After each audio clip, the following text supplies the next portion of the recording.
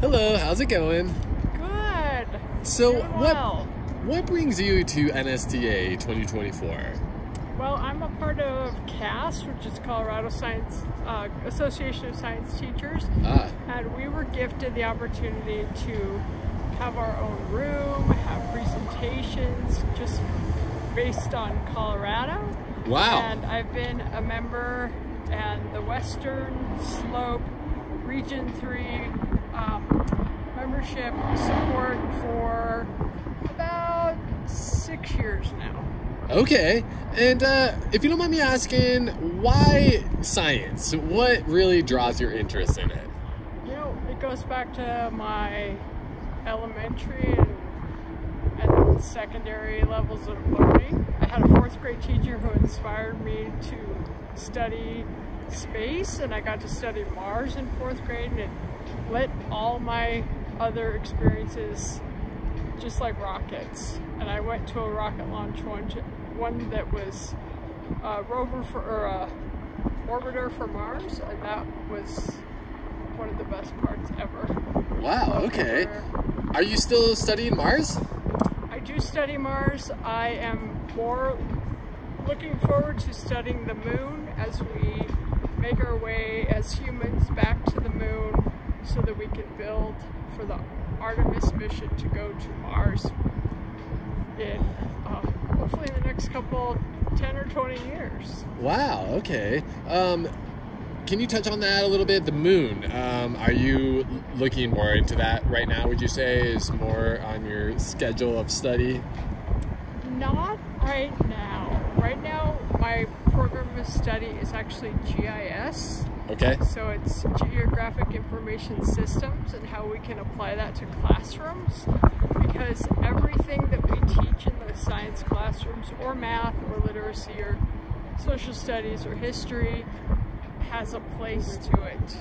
Sure. And we can map those locations and we can find concerns like this look, this place looks pretty good. Uh I would say what's going on down there with those trees with the dark, brown grass. Okay.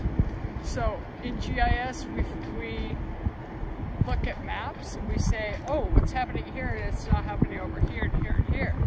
Sure. And so we look at that and we say, oh, well maybe it doesn't get as much water as other places, or maybe people are are, sh- are putting down, you know, trashes over there or something like that, or it's used differently by animals.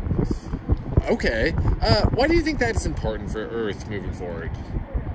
I think the future of Earth, um, the kids that we train in our classrooms, the teachers that we train, who train their students, they're gonna take us to places that we will never know, and to to levels of learning that we don't even know exist yet, like AI.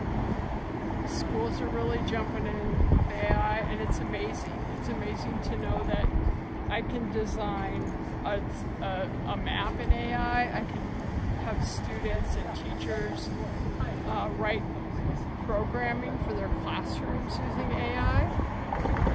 So That definitely is a subject that is being spoken to amongst a lot of people uh, this year is AI.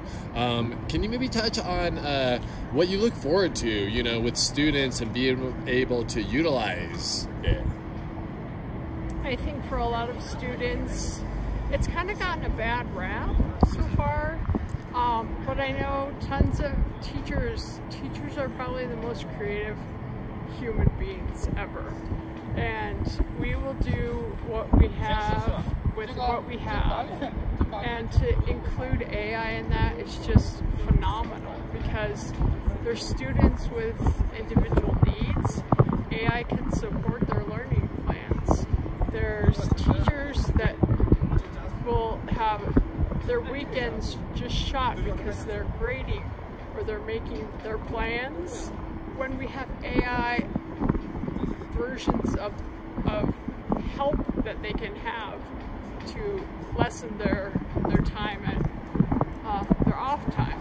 And the two things over my experience of edu- science education is we we work I think we work the hardest out of all the, contents because science is always evolving. And now there's AI, and we're sending other missions to space. Um, and I think a, a event like this brings all these ideas from all around. I met a lady from England yesterday, all around the world. Um, there's 4,500 people here, all talking about science and STEM, and they're all looking for that. What's next? What's next? How can we help students? How do we promote programming for STEM and science? What are you excited for? What's next?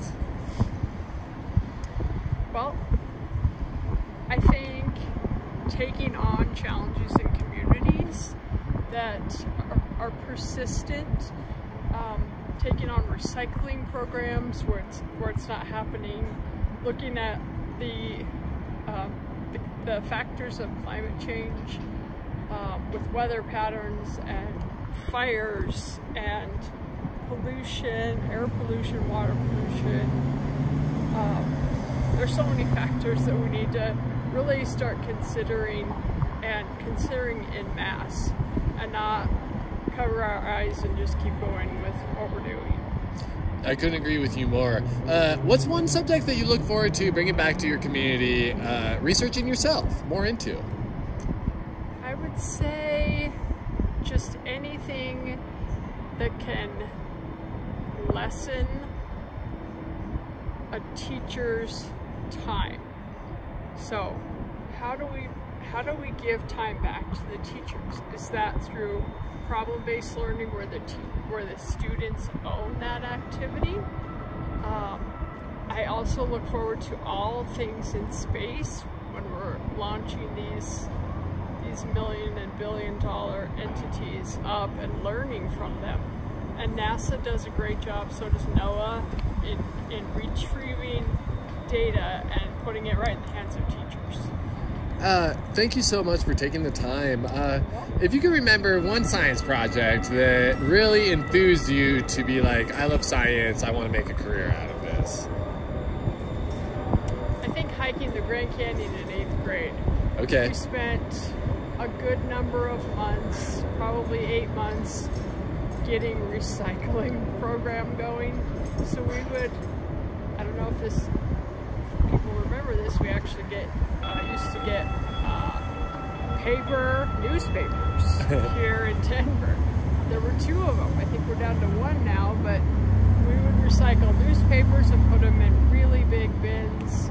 Uh, we would recycle cans and bottles and all the receipts from those cans would would um, would amount up to the the needed guess the needed total for what we needed to to spend to go on our trip as eighth graders to the Grand Canyon. Wow, that's pretty wow. neat. Uh, from that trip, is there one uh, thing that you really remember that? Uh... I, re I remember sleeping on the, the floor of the Havasu Falls. Uh, it's a native tribe that lives there, the Havasupai. And I was just waking up and I looked up, looked at the red rocks, the waterfalls, and the blue-green water, and I looked to the side and there was a scorpion on my pillow. Oh, wow. Yeah. And I freaked out a little bit. but well, fantastic time down in the Grand Canyon. I can only imagine. Well, thank you so much, and I look forward with you in science in the future too. Thank you for giving back to the community. Thank you. Have a good one. You too.